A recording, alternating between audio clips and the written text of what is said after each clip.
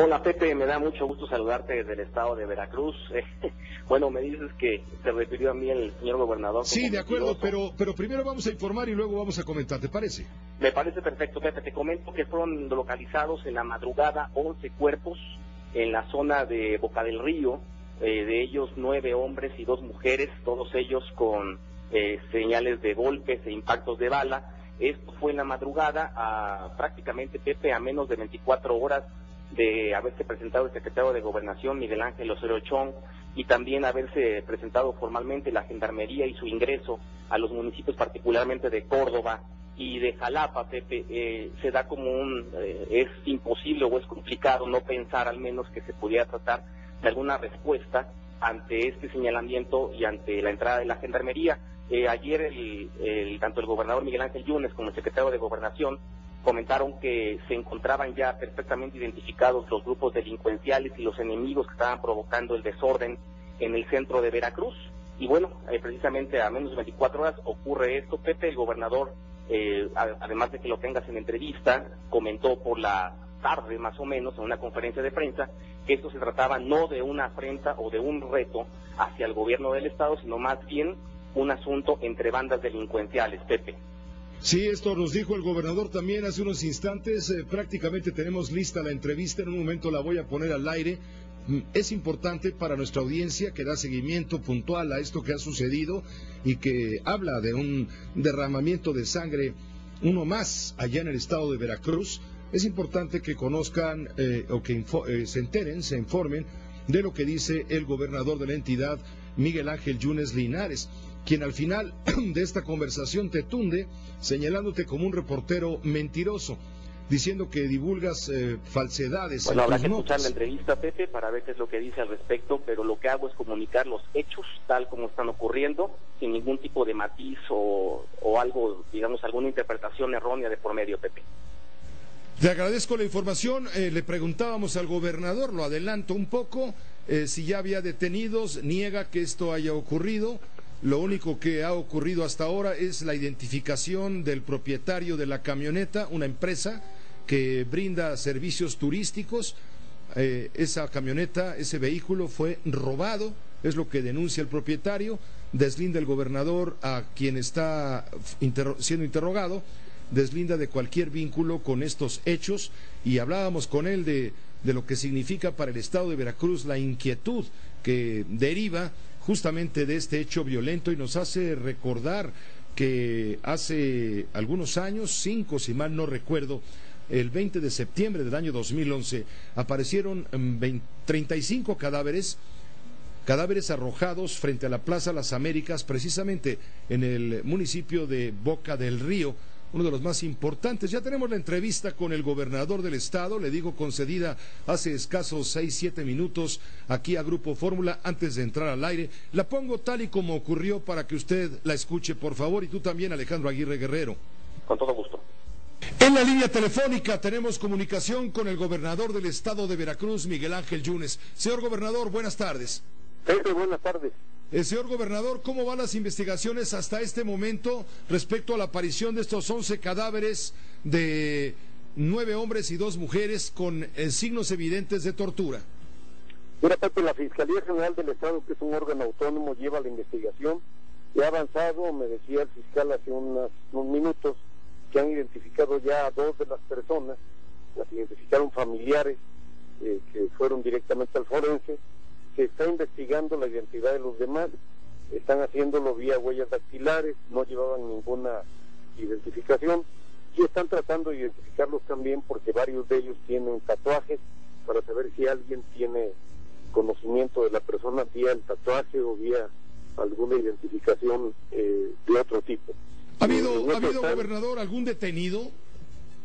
No, Pepe, solamente eh, compareció, se llevó a comparecer a la persona fue robado el carro en la que aparecieron los cuerpos, pero él no participó en los hechos, a él le quitaron el carro, eh, lo dejaron después en algún lugar eh, lejano al lugar donde le habían quitado el carro y solamente compareció a dar testimonio. Esto es una barbarie. Sin duda, Pepe, yo así lo califiqué en la mañana, es un acto de barbarie, es inconcebible, tenemos que hacer todos los mexicanos por eh, echar atrás toda esta ola de violencia. No es posible que México siga expuesto a este tipo de cosas, es propio de, gente bárbara realmente que va mucho más allá de un conflicto por un negocio ilícito, por un territorio. Lo que han hecho es realmente preocupar a la sociedad con eventos como este, porque aunque sean hechos que se vinculan o hechos que suceden entre bandas de delincuentes organizados, evidentemente la sociedad se preocupa, sabe que eso está sucediendo en su entorno y que esto puede causar un problema más grave. Yo estoy totalmente decidido, y lo dije desde un principio, a que Veracruz se va a vamos a recuperar la seguridad. Tengo 90 días como gobernador, todos los días estoy eh, metido en el tema, cada domingo nos reunimos con autoridades federales a evaluar, a tomar decisiones. Ayer estuvo el secretario de Gobernación con la Gendarmería Nacional para vigilar, para supervisar las tareas de seguridad que vamos a llevar a cabo en dos zonas más del Estado, en Córdoba y en Jalapa. Y créeme que todos los días nos esforzamos, sin embargo, frente a eventos como el de ayer, pues sí se genera una preocupación social mayor. Gobernador, ¿cómo tomas el desafío que plantea el mensaje encontrado junto a los cuerpos masacrados? El mensaje dice, si quieren guerra, guerra tendrán, pero aquí nos morimos todos. No, porque también hace referencia a algún conflicto entre ellos. Hay un renglón más ahí intermedio que lo que indica que es un conflicto entre ellos y que como acostumbran estas bandas de delincuentes brutales, lo que hacen es mandarse mensaje entre ellos para intimidar. Esa es la razón también por la cual torturan a las personas, hacen aparecer los cadáveres con huellas visibles de tortura para que sus adversarios entren en pánico y tomen la decisión de irse. Es un mensaje entre ellos, no tengo ninguna duda, y sucede en un momento pues, muy importante, un momento en, que, en el que estamos avanzando hacia mejores niveles de seguridad. Eh, esto, vuelvo a repetir, no tiene nada que ver con la población, con las personas de bien, tiene que ver con un enfrentamiento entre delincuentes, pero de cualquier manera es un tema que causa eh, temor, que causa preocupación y que afecta a la seguridad pública. La ciudadanía quiere respuestas, quiere hechos, no solamente palabras, diatribas, discursos. Eh, Miguel Ángel, en los últimos días de los 90 que llevas gobernando, tu discurso ha ido para atacar a tu antecesor, el prófugo Javier Duarte, últimamente para vincularte en un eh, en una, en una disputa, en una reyerta con Andrés Manuel López Obrador. Eh, ahora con este tema la, la cosa se pone muy grave. La gente quiere hechos y no dichos, gobernador.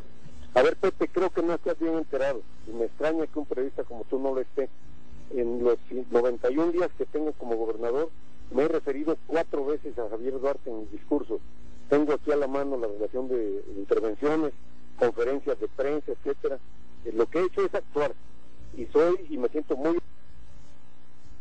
¿Se cortó la comunicación con el gobernador o la cortó él? Porque creo que le molestó la pregunta que le hice, lo notamos de manera más que evidente, pero la obligación nuestra es hacer preguntas y en todo caso de la autoridad, si está en su deseo, pues responderlas y si no, eh, pues contestarnos como lo está haciendo el gobernador. Creo que no le gustan las preguntas que le hago, gobernador, ¿qué te hago? Gobernador, eh, ¿me escuchas? Perfecto. Creo que no te gustan las preguntas que te hago, ¿te molesta? No, no, no, no, Pepe, estoy respondiendo. No, no, dímelo, derecho, dímelo, no hay problema. No, no, te estoy respondiendo, no, si no colgué. No, sí estoy enterado de lo que dices, gobernador, te lo digo con todo respeto, pero te hago la pregunta porque la gente ya está cansada de que todo el tiempo hablas y no actúas. Adelante, gobernador, parece que, que te molestaron mis preguntas, ahora sí estamos en contacto. No para, no para nada, perdóname, si hablo fuerte es para que me escuches, porque voy en la carretera, no por otra razón. No, pero te decía, creo que no estás bien enterado en esto de que me dedico a hablar de Duarte. Déjame decirte, aquí tengo la síntesis. He dado 55 declaraciones a los medios, 22 sobre seguridad, 9 sobre empleo, 6 sobre salud, 5 sobre situación financiera, 4 desarrollo social, 5 sobre Duarte, 2 sobre tránsito y transporte, 2 sobre grupos sociales, una sobre obras, una sobre incremento de la gasolina. No, Pepe, me dedico a trabajar. Y en el caso de López Obrador, Pepe, no fue ninguna diatriba. Señor vino a Veracruz, me agravió, me agredió sin ninguna razón y le dediqué ocho minutos exactamente a responder. Mismos minutos que me llevó grabar tres spots con una camarita, con mi, con mi propio celular Y eso fue todo lo que le dediqué.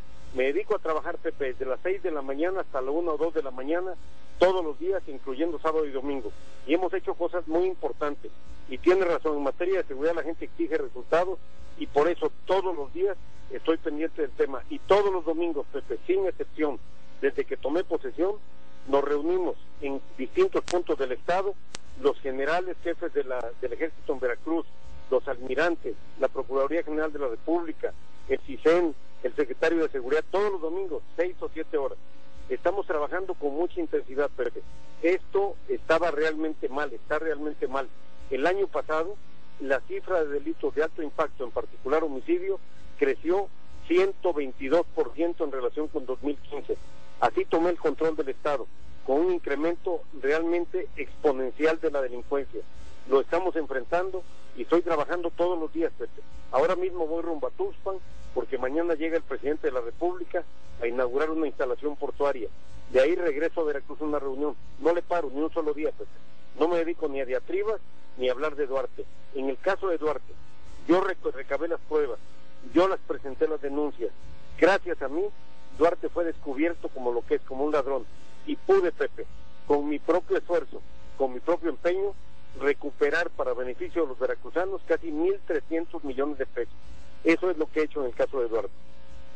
Pues gracias, gracias gobernador por habernos contestado finalmente, eh, por este malentendido aclarado desde luego, pero yo tengo aquí una cifra, ni yo sí estoy también informado, gobernador, por supuesto, no se compara mi información de Veracruz con la tuya, evidentemente, pero desde la, desde la capital de la República estoy viendo que a 86 días eh, eh, de, haber tomado el poder, 92 ya con el día de hoy, en el 90% de tus discursos y entrevistas, según un recuento periodístico realizado por el Diario Universal, refieres la grave crisis que te dejaron en Veracruz. un reportero que se llama Alejandro Aguirre, que reporta cosas falsas de Veracruz. Sí, lo conozco el dato, pero aquí está y si me permites te mandaré por correo electrónico todas las declaraciones a las que me referí para que cheques cómo el dato es falso. Bueno, te estoy dando el dato totalmente basado en, datos oficiales. Te informo que Alejandro Aguirre también es corresponsal de Grupo Fórmula Noticias y, le voy a llamar para que conteste también lo que tú señalas. Gracias. claro que Gracias, Pepe. Gracias, gobernador. Hasta luego. Bueno, pues es lo que dice el gobernador del estado. Esto nos dijo el gobernador del estado, Miguel Ángel Yunes, le digo, nos califica de desinformados, de malinformados y acusa a nuestro corresponsal Alejandro Aguirre de ser un reportero mentiroso. ¿Qué dice Alejandro Aguirre? primeramente, el ejercicio periodístico puede agradar o puede incomodar, pero a final de cuentas el objetivo de tal es informar las cosas como ocurren y como se están generando en la realidad. Yo no califico y tampoco hago un trabajo para agradar o para desagradar, sino para informar. Eh, no me voy a enganchar lógicamente con el señor gobernador en una diatriba eh, estéril en este sentido, pero lo que sí te puedo decir, Pepe, es que eh, de acuerdo a los datos que se han recabado, y no es solamente una investigación que yo he efectuado, sino que también incluso nuestro compañero por la mañana, Ciro Gómez Leiva, lo ha presentado, ha dicho que de cada dos conferencias de prensa, el gobernador Miguel Ángel Yunes en una marcaba al gobernador Javier Duarte. Y yo no dije que era el 90%, dije que era el 50%, pero bueno, a final de cuentas, ese es el dato, ahí está la información, y insisto, Pepe, el trabajo periodístico que presentamos y que presento, que te presento a ti y a todas las personas con las que platico es objetivo y nunca con el afán ni de agradar a alguien ni de desagradar tampoco a muchos. Pues te agradezco Alejandro Aguirre Guerrero el haber conocido también tu opinión, ya que fuiste involucrado, señalado por el propio gobernador del estado de Veracruz hace un momento cuando debatíamos este tema de la información sobre Javier Duarte, en la cual él ha insistido, aunque ahora nos diga que lo ha hecho unas cuantas veces. Gracias, Alejandro.